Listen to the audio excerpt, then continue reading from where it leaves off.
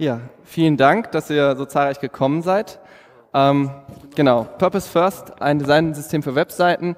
Ähm, ich möchte euch heute ein bisschen über die äh, Lessons learned, äh, die wir nach drei Jahren Entwicklung an unseren Webseiten ähm, ja, gesammelt haben und möchte euch ein bisschen darüber erzählen. Ähm, ganz kurz zu mir. Ähm, ich arbeite als Webentwickler, schon vorgestellt. Genau, das äh, Ding mit der Apokalypse, das ist einfach zum Entspannen. Da gehe ich äh, zwei, dreimal im Jahr äh, mit 500 anderen Leuten äh, durch Wälder und ähm, spiele Lab. Super Hobby, äh, können wir auf ein Bierchen später bestimmt mal drüber quatschen. Ähm, genau, aber ansonsten, äh, wie gesagt, äh, Webentwickler, das ist so mein Hauptfokus. Ich habe 2007 äh, angefangen damit, die ersten Webseiten noch damals äh, Java Server Faces äh, entwickelt, ganz schlimme Vergangenheit. Ähm, ja, bin aber, äh, deswegen ist Webentwickler auch so ein bisschen in Anführungszeichen ähm, innerhalb der Firma so ein bisschen gewechselt. Ich mache jetzt ein bisschen App-Entwicklung. Man muss auch mal ein bisschen weiter gucken und es macht auch mega viel Spaß und genau. Also bin da so ein bisschen allround-mäßig aufgestellt. Genau. Ähm, was macht Zipgate eigentlich? Genau, ich bin ähm, arbeite bei Zipgate, ähm, um euch ganz kurz abzuholen. Ähm, wir sind ein Voice-over-IP-Service-Provider. Ähm, wir haben Privat- und Businesskunden, machen also ganz viel Telefonie, sowohl für äh, große Kunden, äh, die so virtuelle Telefonanlagen brauchen, das sind dann so 15 bis 50 Leute, und aber auch für Privatkunden, Name zum Beispiel irgendwie Zipgate Basic und Satellite.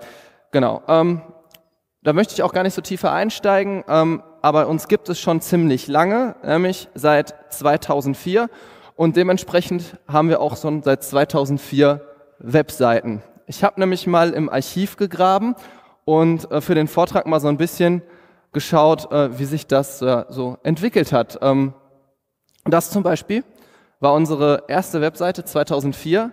Schon damals hatten wir ähm, Probleme, das komplexe Produkt, das wir hatten, eigentlich unseren Kunden zu erklären. Äh, man, es gab halt irgendwie eine Ortsrufnummer und die hat auf deinem Computer geschellt. Das äh, war irgendwie neu und revolutionär. Ähm, ja, man hat sich da irgendwie so ein bisschen äh, durchentwickelt. Ähm, wie ist man zu sehen, da hat keiner irgendwie auf äh, Typografie, auf Fonts geachtet.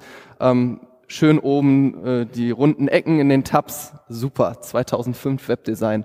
Ähm, die Zeit vergeht, irgendwann hat man gesagt, ach, vollflächige Farben, total cool, ähm, auch ein bisschen mehr Pep, äh, noch mehr vollflächige Sachen, ähm, mittlerweile auch eine Font äh, eingebettet, ja. Ähm, dann gab es mal so ein bisschen äh, stilistisch, wurde es irgendwie, äh, ja, äh, wie heißt das, kantiger und halt auch wieder mehr Fokus ähm, auf weniger Inhalte, platzierter, ja, hat sich so ein bisschen entwickelt.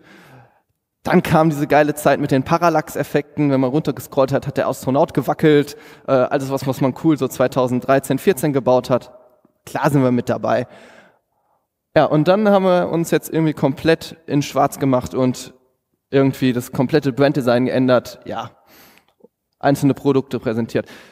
Warum zeige ich euch das alles? Ähm, das, was wir nach 15 Jahren Webentwicklung gelernt haben, ist das eine.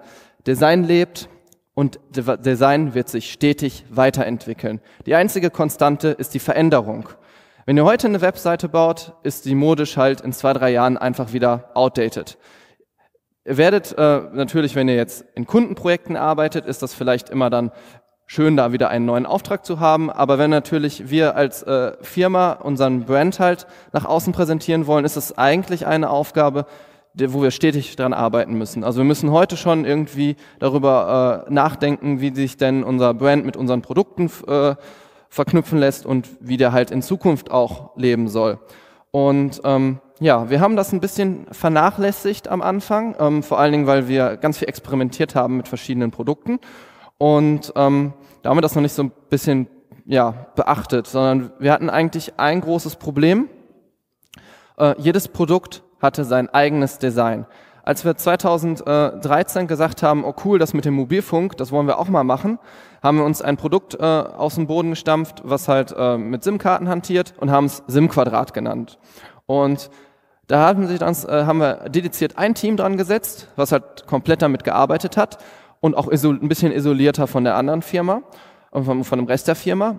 Und dementsprechend hatte das ein komplett eigenes Design. Ähm, das hat man schon am Logo gesehen, da hat dann irgendwie, äh, war eine SIM-Karte mit drin und genauso wie dann zwei Jahre später wir gesagt haben, oh, wir entwickeln, äh, äh, wir öffnen unsere Plattform für Entwickler und bauen äh, eine IO, also Zipgate.io, eine Schnittstelle, mit denen man uns direkt programmieren kann, komplett neues Design. Äh, ist halt einfach ein wirrer Haufen, den wir da an Designsachen gemacht hatten. Und ähm, ja, da haben wir gesagt, okay, das müssen wir ändern, das ist überhaupt nicht mehr hand handhabbar und haben uns damit beschäftigt, wie kriegen wir es eigentlich hin, unsere 20 Webseiten, die wir jetzt haben, ähm, alle zu vereinheitlichen, unter einen Brand zu kriegen. Und haben uns gesagt, okay, Designsysteme, das ist, ähm, glaube ich, so seit ja, 2012 ist es äh, doch durch die Design-Community so ein bisschen äh, gejagt worden, dieses Buzzword, und äh, Leute haben angefangen, Bücher darüber zu schreiben und ähm, ja, ist ganz groß geworden, dieses Thema. Auch damals haben wir halt uns gesagt, okay, äh, wir brauchen so ein Designsystem. Wir brauchen irgendwie etwas, was äh, uns hilft, das zu organisieren, äh, das zu strukturieren und halt, äh, um es wartbar und entwickelbar zu machen.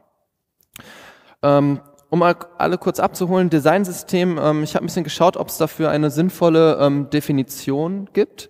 Und da ist von, die, von Andrew Cordwell, die finde find ich so ein bisschen am besten, die beschreibt es eigentlich, ja, bringt es noch ein bisschen auf den Punkt. Uh, Design Systems brings order and consistency to digital products. They help to protect the brand, elevate the user experience and increase the speed and efficiency of how we design and build products. Und genau das sind eigentlich die Kernfunktionen, die uns damals gefehlt haben. Also uh, Order, Consistency, also gerade Consistency einfach nicht vorhanden. Uh, wir hatten auch Probleme, dass viele Kunden, die halt ein Produkt äh, von uns genutzt haben, was halt überhaupt nicht mit dem Brand verknüpft war, uns auch gar nicht damit assoziiert haben. Also Zipgate war für den unbekannt, obwohl sie SIM-Quadrat benutzt haben. War halt immer nur so ein kleines Powered by und sowas. Ja, und äh, natürlich hat es auch tierisch viel Zeit und auch dadurch Geld gekostet, dass man halt einfach sich immer wieder neu erfunden hat und immer wieder neu entwickelt hat. Ähm, ja, Deswegen, was für uns ein Designsystem geworden ist und ähm, was uns das halt handbar gemacht hat, ist, dass wir gesagt haben, es muss auf jeden Fall auch eine wiederverwendbare grafische Komponentenbibliothek geben. Wir wollen halt irgendwie ein Baukastensystem haben, das man nutzen kann. Weil selbst wenn wir halt nur ein Designsystem auf dem Papier äh, haben und Regeln, Richtlinien und sowas alles äh, definiert haben, dann hilft uns das ähm, zwar innerhalb des Brands zu bleiben, aber auch das muss man wieder interpretieren und das hilft einem vielleicht schneller zu werden, aber ist halt noch die, die Spitze. Deswegen haben wir gesagt, okay, wir wollen auf jeden Fall sowas wie eine Pattern Library bauen.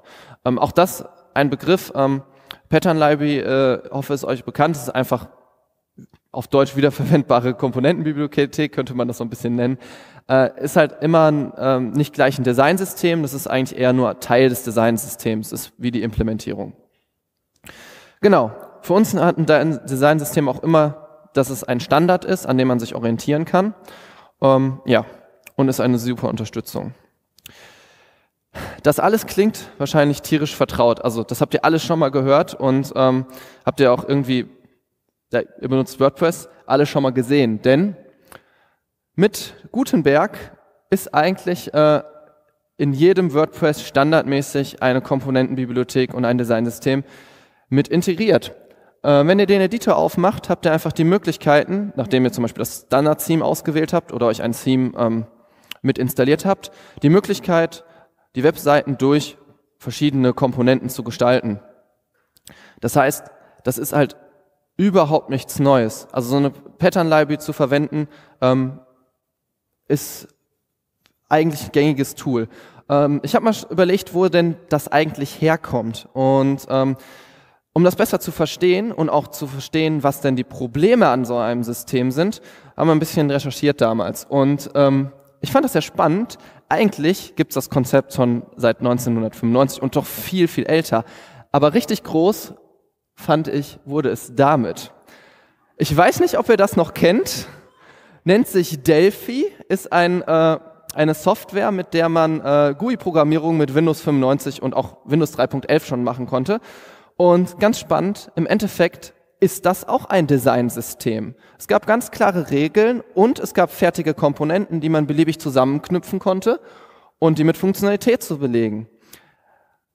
Die, das Gute daran ist, wir können aus den Learnings die die komponentenbasierte Softwareentwicklung damals gemacht hatte, heute noch unsere ähm, Rückschlüsse und äh, Hilfestellungen für unsere Designsysteme finden. Die Probleme sind einfach schon 30 Jahre alt. Die Bücher kann man, gibt es auch schon Bücher aus, 80, aus den 80ern zu komponentenbasierte Softwareentwicklung. Ähm, und die Probleme sind wirklich ähnlich. Genauso, ähm, die haben sich ja entwickelt. Ähm, Bootstrap, auch sicherlich von jedem, der ein bisschen Webentwicklung gemacht hat, ist das bekannt. Ähm, das hat sich einfach mega gut durchgesetzt. Ich glaube, 2012 bis 2015 hat jeder mindestens eine Seite mit Bootstrap gebaut, weil es sich ja auch so einfach angefühlt hat. Man hat das einfach einmal runtergeladen, in die Webseite mit rein integriert und hatte eine komplette äh, Bibliothek an äh, Elementen, die man nutzen konnte. Und ähm, weil es eben so einfach ist, führt sich äh, führt es halt dazu, dass jeder so ein Designsystem gerne hat, haben, hat und benutzen möchte. Genau, schon gesagt, leicht zu benutzen, auch für Einsteiger. Ähm, und das Gute an diesem System ist halt, ich brauche mir um dieses Styling und das Design keine Gedanken machen. Ich definiere das einmal, auch bei Bootstrap zum Beispiel hat man einmal irgendwie sein Theme draufgelegt und benutzt es. Ich muss das nicht nochmal irgendwie an jeder Seite neu erfinden. Und, ähm, und selbst wenn ich selber zum Beispiel die Fähigkeiten gar nicht habe, gutes Design aufzubauen, ist es auch, wenn ich ein Designsystem habe, brauche ich das halt nur einmal machen und kann mich daran orientieren, ohne dass ich halt ähm, mich da viel einarbeiten muss. Ja, ähm, also haben wir gesagt, gut, dann lass uns mal ein Designsystem bauen. Und ähm, ja, die aktuelle Version oder nein, die aktuelle System, das wir haben, ist unser drittes System. Und wir haben zweimal Systeme komplett weggeschmissen. Wir haben nämlich angefangen mit Brad Frost. Ähm, wenn ihr irgendwas mit Design zu tun habt, wird euch dieser Name bestimmt schon mal begegnet sein. Äh, 2014 war der praktisch in aller Munde, weil er hat mit Atomic Design eine Idee eines Designsystems äh, publiziert, die ähm, für ihn und in gewissen Situationen auch sehr gut funktioniert. Ähm, wir dachten damals, okay, das ist das, das Coole, das Tool, das, was wir auch ausprobieren wollen, das löst all unsere Probleme. Haben ihn auch mal zu uns eingeladen, haben gesagt, okay, erzähl uns das doch mal, wie das funktioniert. Und ähm, haben uns dieses System erklären lassen. Ähm, ganz kurz, Atomic Design basiert darauf, dass man versucht, die Elemente einer Webseite komplett klein zu teilen, ähm, die zu zerlegen in seine Atome zum Beispiel ähm, ist dann einzelne Buttons, aber auch einzelne Farben können sowas wie Atome sein. Und die kann man zusammensetzen. Man kann zum Beispiel ein, äh, eine Überschrift oder ein Label mit einem Button und einem Eingabefeld verbinden und hat ein Molekül. Und wenn man das noch irgendwie in eine ganze Newsletter-Anmeldung ver verwurstet, hat man einen Organismus. Und äh, wenn man verschiedene Organismen zusammenpackt, hat man Templates für Seiten und baut die später. Das ist der Grundgedanke von Atomic Design. Haben gedacht, super Idee, nehmen wir mal unsere Gümpel-Webseiten, ähm, haben uns in tagelangen Workshops die ausgedruckt und mal geschaut, was ist äh, einheitlich, was ist uneinheitlich, warum haben wir eigentlich 15 verschiedene Buttons und warum ist hier jeder Abstand unterschiedlich. Und ähm, ja, haben gesagt, okay, äh, das ist cool, machen wir. Wir haben ein Designsystem danach gebaut und es war komplett für die Tonne. Ähm, wir haben damit zwar alle Seiten hingezogen, aber hatten all die Probleme, die man aus komponentenbasierter Softwareentwicklung hatte. Denn ähm, es war absolut unübersichtlich. Denn ähm, das Problem bei Atomic Design ist, man merkt, dass das ein Softwareentwickler durchdacht hat. Dieses ganz krasse Aufspalten in Atome, Moleküle, Organismen, ähm, das fühlt sich an wie objektorientierte Programmierung. Das ist viel zu granular, viel zu fein. Es gibt überhaupt keine Regeln, wie man die Sachen kombinieren kann, äh, wann man irgendwo Moleküle benutzt. Also es alleine irgendwie alles aufzuspalten in seine Einzelteile, das alles irgendwie zu kategorisieren, das hilft einem überhaupt nicht. Ähm, wir haben uns ein System damals geschaffen, ähm, das halt ganz harte Referenzierung hatte. Äh, wenn ich ein, äh, äh, ähm, Atom, zum Beispiel einen Button hatte, dann wurde der halt 15, an 15 verschiedenen Stellen benutzt, referenziert, absolut unwartbar. Ähm, wir hatten total die Probleme mit der Benennung. Ähm, wir hatten uns damals irgendwie so ein bisschen an sein, seine Philosophie gehalten, die er in seinen Büchern publiziert und er hat halt immer gesagt, ja, ihr müsst das einfach Benennung hat er nur sehr beiläufig angerissen und hat gesagt, okay, mach das mal irgendwie nach den Funktionen und ein Button heißt dann halt irgendwie Button, also irgendwie, weiß nicht, Call to Action Button oder irgendwie ähm, Order Button und das war halt irgendwie ein bisschen, bisschen komisch. Ähm. Und was wir gemerkt haben, ist, wenn du halt eine Komponentenbibliothek hast, die so fein granular ist, hast du nicht das Problem damit behoben, dass da jeder mit umgehen kann. Denn ähm, ich brauche halt immer noch die Fähigkeiten, diese Sachen richtig zu kombinieren. Was auch überhaupt nicht funktioniert hat, war dieses Moleküle versus Organismen. Ähm, wir, wir kamen einfach nicht aus dieser, aus dieser Situation raus, dass man ähm, das sauber getrennt hat. Ich hatte, wir hatten hinterher eine Webseite, wo all diese Komponenten aufgelistet waren. Es waren 74 Komponenten und wurden irgendwie gefühlt wöchentlich mehr. Ähm, man, man hat, kam da überhaupt nicht mit zurecht, wie man was einteilen sollte. Ähm, und vor allen Dingen so, ähm, man hat gemerkt, das hat ein Entwickler für einen Entwickler organisiert. Und ähm, es sah halt aus, als würde ich irgendwie komponentenbasierte Softwareentwicklung wie 95 machen. Aber wir sind ja in einem Designsystem, ich möchte Webseiten bauen. Das ist ein ganz anderes Problemfeld. Und deswegen haben wir uns 2017 hingesetzt und gesagt, okay, jetzt machen wir mal wieder radikal alles für die wegschmeißen und neu und überlegen uns, was ist denn eigentlich der Kern äh, und das Kernproblem. Und wir haben uns gefragt, wer ist eigentlich der Kunde deines Designsystems? Wer benutzt das? Wer, wer muss das irgendwie, ähm, ja, wer muss es warten und äh, wer, wer es muss gestalten und wer benutzt es eigentlich?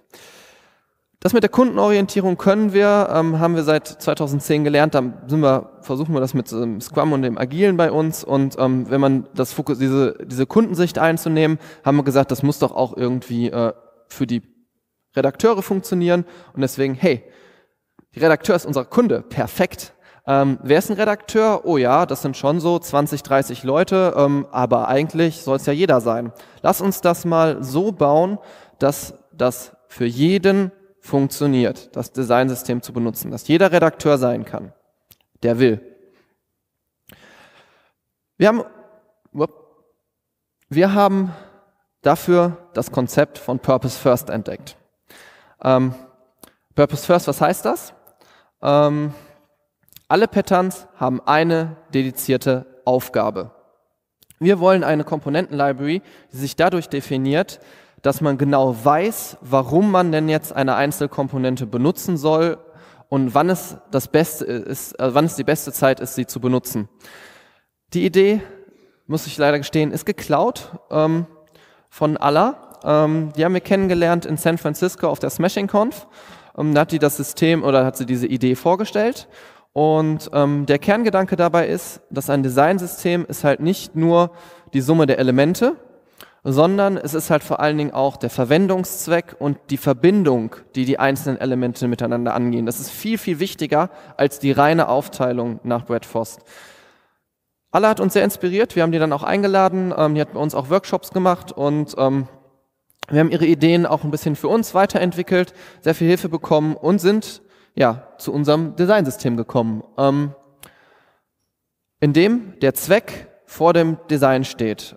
Wir haben komplett versucht, ähm, das auch ein bisschen zu abstrahieren. Wenn ein Redakteur zum Beispiel auf die Suche geht und sagt, ich muss jetzt eine Komponente finden, die ich in meiner Webseite brauche, dann ähm, ist es ihm eigentlich vielleicht auch im ersten Moment egal, wie sie aussieht.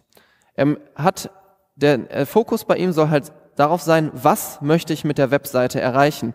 Und deswegen sind die zum Beispiel hier auch aufgeteilt nach ähm, Patterns, die Kontakt vermitteln, Patterns, die was mit Preisen zu tun haben oder Patterns, die Fakten darstellen, ähm, die vielleicht auch äh, ja, äh, in verschiedenen Geschmacksrichtungen vorhanden sind. Also gerade Fakten präsentieren ist jetzt auch irgendwie zwar ein Zweck, aber den kann man natürlich unterschiedlich gestalten. Habe ich jetzt irgendwie eine Summe von 100 Fakten, die ich präsentieren möchte, möchte ich einzelne Fakten prominent darstellen, möchte ich die ein bisschen untermalen. Ähm, da gibt's dann noch Nuancen, also das Facts-Pattern bei uns hat halt zum Beispiel vier äh, Darstellungsweisen und ähm, wir haben die bewusst in diesem Illustrationsstil abgehalten, damit der Redakteur sich auf den Zweck und ähm, was er damit ausdrücken möchte konzentrieren kann. Das war uns damals äh, sehr wichtig und ähm, hat sehr, uns sehr geholfen. Denn wenn er jetzt anfängt, eine Webseite zu gestalten, dann ähm, kann er in unseren Offline-Board gehen, das äh, Wireframe-Board, äh, und über die Inhalte der Seite sprechen. Denn ganz ehrlich, was noch viel, viel wichtiger ist als das Design und die Bilder auf der Webseite, ist der Inhalt und vor allen Dingen auch der Zweck der Seite. Was soll der Kunde lernen, wissen, tun, wenn er auf dieser Webseite ist? Warum baue ich diese Webseite? Möchte ich gerade über mein Produkt informieren? Möchte ich ihm irgendwie äh, Fakten liefern, Informationen, Preistabellen? Möchte ich ihm zum Newsletter subscriben, animieren? Das sind unterschiedliche Aufgaben, die eine Webseite hat. Und ähm, das ist eigentlich das Wichtigste, was ich wissen muss, bevor ich eine Webseite baue. Wenn ich damit nicht anfange, dann ist natürlich irgendwie drehe ich da, äh, fange ich da beim verkehrten Ende an. Und ähm, deswegen haben wir gesagt, okay, das erste, was du dir Gedanken machen musst, ist, was erfüllt deinen Zweck? Und dann kannst du hingehen und die einzelnen Patterns betrachten, unterstützen die mich in der Idee, die ich vermitteln möchte. Also ist es gerade sinnvoll, ein Trust-Element ähm, einzubauen? Möchte ich auf dieser Seite gerade Vertrauen schaffen? Weil brauche ich Vertrauen, damit der Newsletter-Abonnierung macht? Oder ähm, brauche ich etwas längeren Text, um einen komplizierten Sachverhalt zu erklären? Ähm, das sind die richtigen Gedanken. Das ist, sage ich mal, Content-fokussiertes äh, Entwickeln.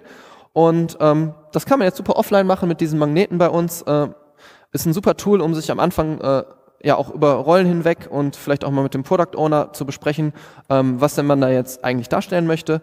Ähm, wir haben das dann nochmal hier äh, schön in der Mitte der Firma aufgebaut, überall alle Patterns als Magnete einmal ähm, gebastelt und ähm, prominent dargestellt, um auch viele Leute einzuladen, einfach da keine Berührungsängste mehr vor dem System zu haben. Ähm, dabei haben wir halt gelernt, dass es auch immer wichtig ist, dass man ähm, äh, so einen Design-driven Fokus hat. Also wir haben gerade mit dieser analogen Wall und mit dem Prinzip, wie wir die Patterns ähm, gestalten und organisieren, dass wir da eigentlich auch das Designen, wie man das äh, Designsystem benutzt. Also und auch wie diese Pattern Library aussieht. Das ist das ist eigentlich viel wichtiger, dieses Handling damit auszugestalten und nicht nur das Entwickeln und Programmieren. Das ist zweitrangig. Und ähm, der Fokus muss sein, wie kann der Kunde sinnvoll damit arbeiten. Die Learnings, ähm, die wir hatten, ist, ähm, jedes Pattern sollte genau einen Zweck definieren. Ähm, so ein Bauchkasten-Pattern, was irgendwie, weiß ich, äh, alles kann, nichts muss, hilft dem Redakteur nicht. Ähm, ist schon immer gut, dass man da irgendwie klare, äh, ja, also einen klaren Fokus setzt in den Pattern. Ähm, alle Patterns laufen auf 100% Breite. Äh, das haben wir aus diesem Atomic Design gelernt, dass das für uns mega gut funktioniert. Wenn ich halt einfach über die Gesamtbreite bin mit dem Pattern, muss ich nie wieder mir den Gedanken machen, wie es denn mobil aussieht oder wie es halt äh, auf einem 4K-Screen aussieht. Das können wir in dem Moment, wo wir ähm, das Pattern halt bauen und den anderen Leuten zur Verfügung stellen, einfach fertig gestalten. Das wird dann, muss er sich nie wieder Gedanken darüber machen, dass das auf dem Handy blöd aussieht. Das haben wir für ihn geregelt. Und ähm, deswegen sind die auch einfach nicht ineinander verschachtelt.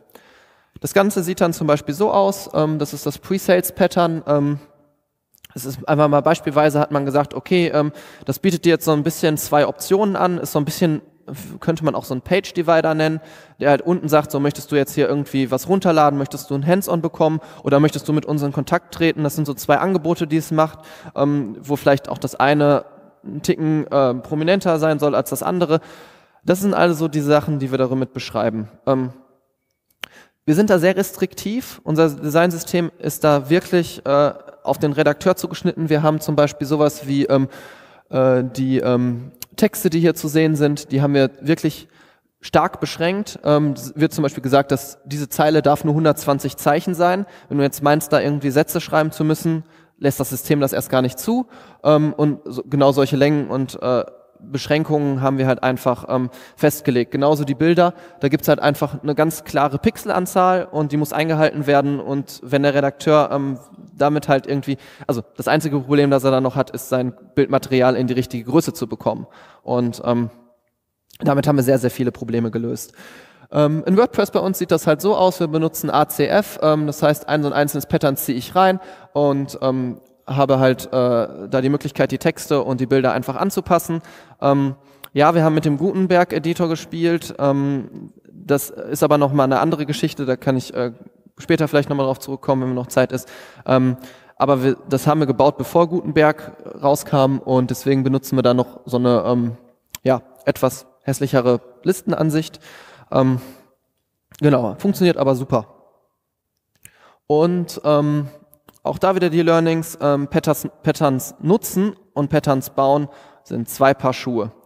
Ähm, das ist wirklich bei uns auch dadurch getrennt, dass wir jetzt ein dediziertes Team haben, was sich komplett um die Betreuung der Webseiten kümmert, also um die Betreuung des Designsystems kümmert, nicht um die Webseiten, weil jedes Team ist eigentlich jetzt eigenverantwortlich für die Webseiten. Wir haben ja insgesamt 20 Stück und jedes Produktteam, ähm, das halt irgendwie dafür Verantwortung übernehmen möchte oder will, ähm, hat jetzt einfach diese Möglichkeit dazu. Und ähm, ja, sind halt, wir haben das halt auch wirklich jetzt an Personen getrennt. Das hilft. Äh, genau, Designsystem erzeugt immer Konflikte. Ähm, Konflikte, muss man auch sagen, ähm, gibt gute und schlechte Konflikte und ähm, die guten Konflikte möchte man haben. Das ist nämlich da, wo man dann drüber spricht. Ähm, dieses Pattern funktioniert für mich aber überhaupt nicht ist halt, äh, weil ich jetzt irgendwie das und das tun möchte, ist halt eine sinnvolle, einen sinnvollen Konflikt, den man dann aber auch irgendwie, ähm, ja, ich will gar nicht sagen ausleben kann. Das hat, äh, also wir haben halt einfach etwas geschaffen, dass die gar nicht so oft auftreten. Ähm, dadurch, dass äh, wir den als Kunden ansehen äh, und halt regelmäßig auch mit ihm sprechen und sagen, ist denn noch das Set, das wir äh, dir an Patterns bieten, ist das genug oder hast du irgendwo Probleme damit, was sollen wir als nächstes bauen, was fehlt dir und da in Dialog treten, ähm, haben wir halt nicht mehr die Konflikte zwischen den einzelnen Designern und auch nicht mehr zwischen den ähm, zwischen den Webseitenbauern, sondern halt eigentlich nur zwischen den Redakteuren und das, was ihnen das System bietet. Ähm, wir haben ein sehr, sehr standardisiertes, striktes System. Ähm, ähm, Allah hat auch ähm, ein Buch geschrieben, äh, Design Systems, da hat sie mal verschiedene Designsysteme äh, analysiert und hat auch zum Beispiel so eine, eine Kategorisierung vorgenommen, wie, wie viel Individualität lässt das Designsystem zu, wie restriktiv ist es und ähm, da sind wir natürlich mit unserem System sehr, sehr restriktiv, ähm, aber halt auch dadurch ähm, sehr schnell. Was wir auch gelernt haben, als wir damals den ähm, Launch gemacht haben, wir brauchen ein Content-Management-System. Wir haben gesehen, dass das äh, ja Webseiten kopieren ist halt einfach nicht mehr State of the Art. Da mussten wir halt auch einfach mal die Entwickler sagen, komm, du willst auch eigentlich gar nichts damit zu tun haben. Deine Entwicklerzeit ist sinnvoller, wenn wir das halt äh, jetzt mit dem Designsystem auch verwalten. Ähm, ich habe da auf einem anderen WordPress-Event schon mal einen Talk drüber gehalten. Ähm, will ich auch nur ganz kurz zusammenfassen. Äh, Gibt es auch auf WordPress.tv einen äh, kompletten Beitrag dazu. Ähm, wir haben uns irgendwann gesagt, okay, ähm, wenn der Redakteur unser Kunde ist, dann sollte der Redakteur auch entscheiden, welches Content-Management-System wir benutzen.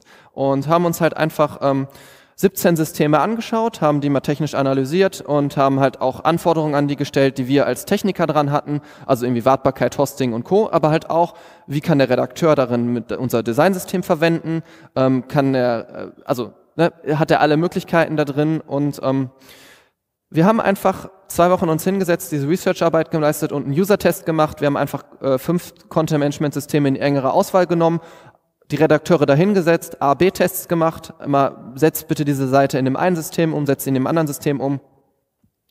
Und äh, ja, dann hat äh, am Ende WordPress gewonnen, aber wie gesagt, anderes Thema ähm, gibt es auf WordPress für TV. Ähm, was wir dabei gelernt haben, ist halt, äh, unsere Pattern Library ist halt auch mehr als irgendwie ein Plugin eines Word, eines WordPress-Systems oder eines Content-Management-Systems an sich.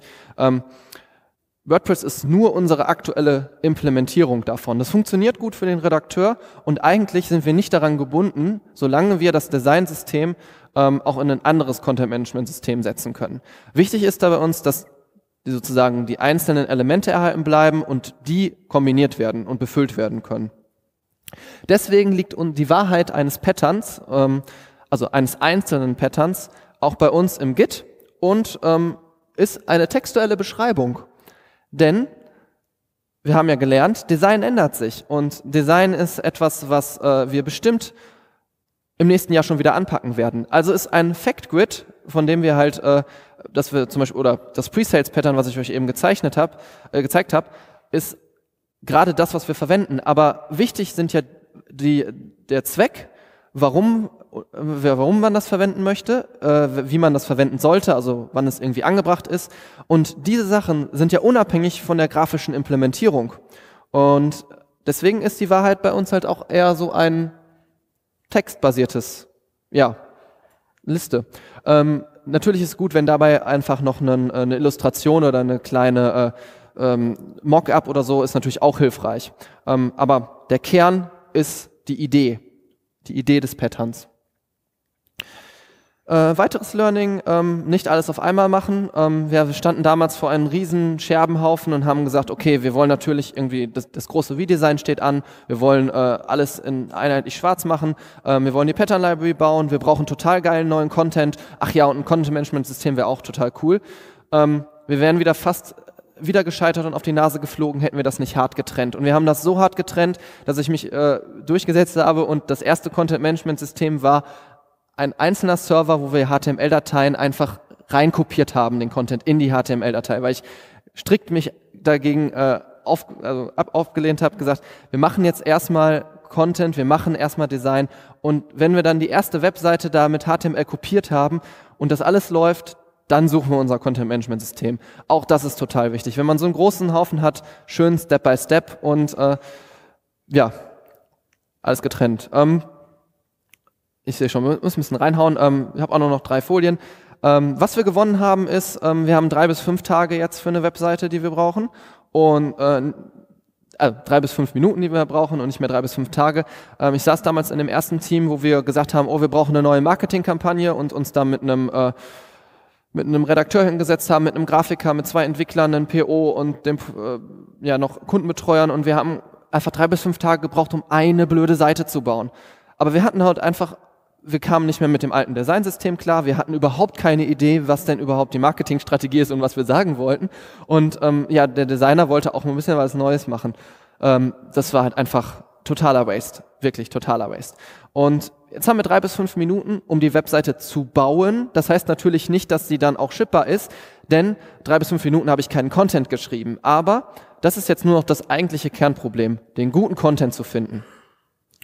Jeder kann shippen. WordPress ähm, ist so ein leichtes äh, Content-Management-System, dass da keiner Berührungsängste vor hat. Ähm, wir haben das einfach mit den Google-Konten von der Firma verknüpft. Fertig. Single Sign-On. Mega easy. Ähm, einfach kann sich jeder reinklicken. Ähm, das Design ist einheitlich ähm, und wir können wieder Abstände in Buttons ändern. Das war ja nicht mehr möglich in dem alten System. Wenn ich da durch diese komplette Verknüpfung war das einfach ein Moloch. Das sind ganz viele Seiten kaputt gegangen und wir haben einfach die Kontrolle über unser System zurückerlangt. Das ist wirklich sehr gut und mega wichtig. Und Design kann sich jetzt wieder entwickeln. Ähm, wir können, da wir einfach in diesen Patterns denken, weiß ich, ich habe jetzt 48 Stück und wenn ich das komplette Branddesign ändern möchte, ja, habe ich 48 Patterns anzufassen. Das ist zwar ein bisschen Fleißarbeit, aber easy möglich. Genau, dann bin ich eigentlich schon am Ende ähm, so ein bisschen Ausblick. Ähm, wir suchen gerade noch so ein bisschen nach Know-how, ähm, wie wir so ein bisschen die Backend-Performance optimieren können. Wir haben da mit ACF ähm, vielleicht nicht die perfekteste Wahl getroffen. Wir sind sehr zufrieden, aber performance-technisch ist das nicht so cool. Ähm, müssen da irgendwie gucken, dass wir da vielleicht auch in Richtung Gutenberg langsam gehen. Ähm, ähm, wir gehen wir mit Individuallösungen um. Wir haben halt auch mittlerweile wieder ganz große Experimente, die ähm, die komplett außerhalb des Branddesigns stehen und ähm, die sich dann zwar auf so eine WordPress-Instanz geklickt haben, aber vielleicht auch ein bisschen an dem Design dran äh, vorbeiarbeiten, ähm, muss man zulassen. Es ist total wichtig, sonst, wenn man diese Entwicklung nicht zulässt, hat man auch keine Entwicklung im Design. Und äh, man muss aber schauen, dass es irgendwie in dem Rahmen bleibt, dass sich das halt nicht zu weit weg entwickelt. Und da müssen wir auch nochmal irgendwie schauen, wie kann man damit umgehen. Ähm, wir wollen gerne das Wireframing digitalisieren, das mit dem analogen Board ähm, stand zwar jetzt ein Jahr äh, im Flur, aber ähm, eigentlich kann man das, glaube ich, auch online machen. Da gibt's bestimmt ein paar coole Tools. Wenn ihr da Ideen habt, quatscht gerne mal mit mir. Ähm, wir laufen hier den ganzen Tag noch rum und ähm, ja, und Asset-Verwaltung, das ist äh, bei uns ein Kraut und Rüben, es ist ein Google Drive-Ordner und zum Suchen ist der absolut ungeeignet. Ähm, da, wenn ihr da irgendwie ein cooles Tool kennt oder so, quatsch mal. Ähm, ja, vielen Dank auf jeden Fall für eure Aufmerksamkeit. Ähm, vielen Dank auch an Krück, die äh, mir das äh, mit Folien geholfen haben und ähm, äh, ja, der Alex hier links im Bild zu sehen ist heute auch da. Sprecht den an, wenn ihr Fragen habt. Ansonsten vielen herzlichen Dank fürs Zuhören und äh, ja, Dankeschön. Vielen Dank, Matthias. Matthias von meinem Lieblingstelefonanbieter Zipgate. Ich glaube, ich bin seit 15 Jahren da und es gab noch nie, nie, nie Probleme. Wahnsinn. Danke. Ähm, es ist echt der Hammer. Lügen. Vielen Dank. Gibt es noch Fragen an Matthias?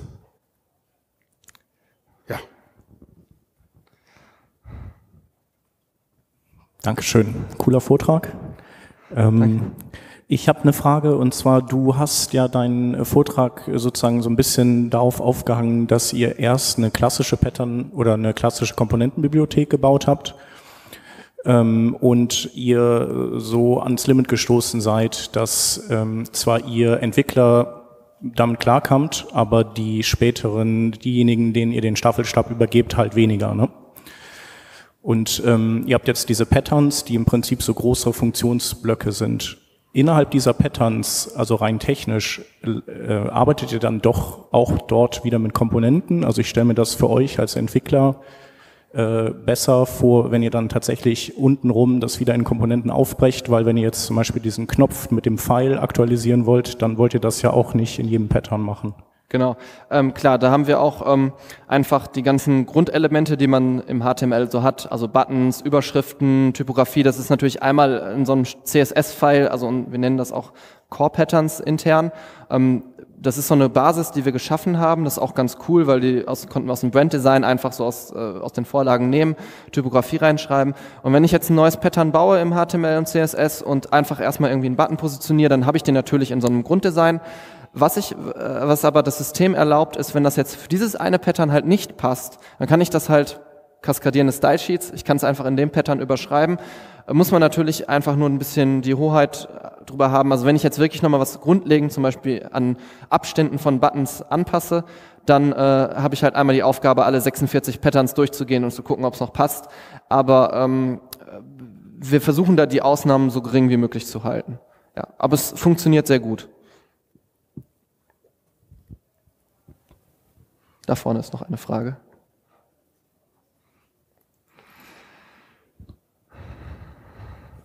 Hi, ähm, ich fand den Vortrag übrigens sehr gut. Ähm, Design Patterns ist ja jetzt so ein, sage ich mal, neumodisches Thema, das irgendwie vor zwei Jahren irgendwie Fuß gefasst hat. Äh, mich interessiert, ähm, was ist äh, der Vorteil von euren Design Patterns gegenüber zum Beispiel Page-Bildern wie Bakery Page-Bilder oder Site Origin oder sowas, wo man halt auch im Prinzip Komponenten basiert, weil man ja im Prinzip kann man ja auch Komponenten aufbauen, sogar mit Inhalt drin und die dann wiederverwenden. Dafür gibt es extra Plugins, die man nutzen kann. Ähm, es geht ja auch in einer gewissen Weise auch um ähm, Schnelligkeit und so weiter, wie schnell man mit Komponenten eine Webseite aufbauen kann. Und da würde ich gerne wissen, wie im Vergleich zu halt solchen Page-Bildern euer äh, Design-Pattern oder welche Vorteile euer Design-Pattern bietet. Ähm der Vorteil, also zu klassischen Page-Bildern ist halt, ähm, Page-Bilder, äh, wir haben uns ein paar davon angeschaut und ähm, das Problem ist halt immer, wie treffe ich die Auswahl, welche Komponente ich jetzt da reinziehe und in der Seite verwende. Das ist halt so ähm, der, der, die Fähigkeit und der Skill, der derjenige, der die Seite baut, dann braucht. Der muss diese Auswahl treffen. Und die meisten Sachen sind, arbeiten da sehr visuell, also im Sinne von, ich sehe, wenn ich auf eine Komponente klicke und reinziehen möchte, sehe ich halt eine Vorschau davon, aber mir fehlt eigentlich dieser Kontext. Warum muss ich das jetzt auswählen? Und wenn du dreimal warum fragst, dann ist, bist du bei der richtigen Frage und äh, das versuchen wir halt so weit wie möglich nach vorne zu holen und deswegen Purpose First den Zweck in Vordergrund stellen, weil wenn ich halt einfach diesen Zweck habe, dann habe ich vielleicht schon mal zwei Whys gestellt und bin dann einfach schneller drin. Gut, verstehe. Ihr habt im Prinzip äh, die Arbeit für einen Redakteur erleichtert dadurch. Dass Richtig. Bei eurer Zielgruppe eigentlich hab ich, habt ihr das geschafft. Ähm, aber im Prinzip muss man ja trotzdem Aufwand äh, oder hat man Aufwand in, im, im Frontend-Bereich, wo man halt äh, bestimmte Dinge dann anpassen. Man kann natürlich eine Library oder whatever nehmen, was ihr schon für, für, zur Verfügung stellt, aber man hat halt immer noch diesen Aufwand, dass man äh, zusätzlich noch paar Dinge auf, äh, machen muss. Und bei Themes, die halt auf zum Beispiel äh, Page-Builder und so weiter aufbauen. Äh, da hat, spart man sich die Zeit jetzt nur in, in irgendwie kommerzieller Weise gedacht. Ja. Aber ähm, an sich ist es für Custom-Projekte, denke ich mal, eine interessante Angehensweise, vor allem auch für Redakteure, die dann nichts mehr falsch machen kann. Vor allem Kunden kann man dann wahrscheinlich auch einfach erklären, okay, Ansprechpartner-Box ist tatsächlich für Ansprechpartner und nicht für etwas anderes gedacht. Ja. Okay, cool. Danke. Äh, um, um da vielleicht nochmal kurz ne, äh, zu sagen, ähm, wir haben auch lange überlegt, was ist denn so eine gute Zahl an Komponenten? Und wir haben jetzt irgendwie 45 und ähm, wir haben so eine Schwelle erreicht, wo wir eigentlich alles bauen. Also es kommt noch selten ein Redakteur auf uns zu und sagt, mir fehlt jetzt konkret noch was. Weil meistens äh, sagen wir ja, okay, dein spezieller Anwendungsfall ist jetzt vielleicht nicht abgedeckt, aber guck mal, mit dem Pattern und dem Pattern kommst du doch erstmal weiter. Und ähm, das funktioniert mega gut. Also man kann fast alles damit bauen. Da ist noch eine Frage. Habt ihr denn sowas wie eine Guideline? Das heißt so ein Katalog, dass ich im Prinzip jetzt mit dem Redakteur hin, äh, dem, dem Redakteur das geben kann? Ja, ähm, wir haben da äh, so eine Webseite, also die ist auch öffentlich ähm, nach draußen.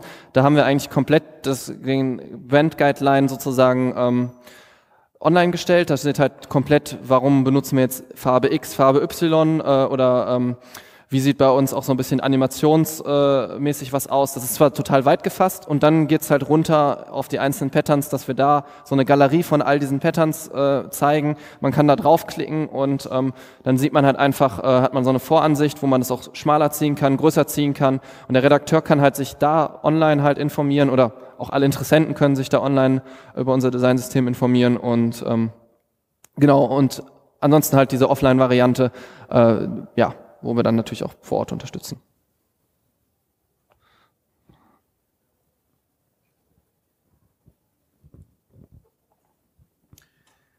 Du hast ja vorhin schon was zu Gutenberg gesagt.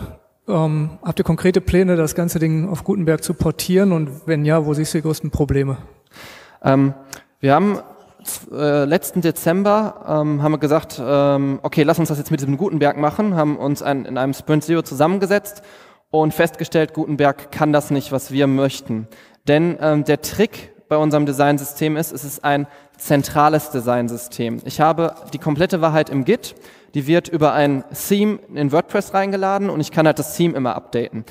Äh, ACF sorgt dafür, dass wenn eine Seite geladen wird, der immer die Vorlage aus diesem, äh, also aus dem, äh, aus dem Design nimmt. Gutenberg wiederum kopiert das Design in den einzelnen Post rein und dadurch hast du sozusagen eine Versionierung und du hast ein Versionierungsproblem. In dem Moment, wo du mit Gutenberg Seiten baust und speicherst und dann weggehst und das Designsystem aktualisierst, hast du auf dieser Seite das alte Design.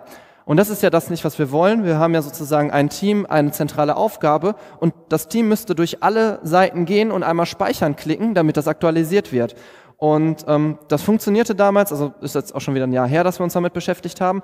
Aber genau das ist halt das Problem von Gutenberg. Es kopiert äh, alle Informationen von den Blöcken, die benutzt werden, in den einzelnen Posts und du hast keine Möglichkeit, das zentral zu verwalten. Wir hoffen darauf, dass ähm, ACF, also wir hatten auch schon mit den Entwicklern gesprochen und mal irgendwie geschaut, wann werdet ihr so ein bisschen Gutenberg-kompatibel, wann kann man Custom Fields in Gutenberg-Blöcken äh, benutzen. Und ähm, wenn du da Ideen hast oder so, geil. Äh, wir äh, brauchen sowas, aber äh, dann nennst du halt Gutenberg, in dem Moment, wo wir dieses Problem äh, der Versionierung auflösen können. Noch eine Frage?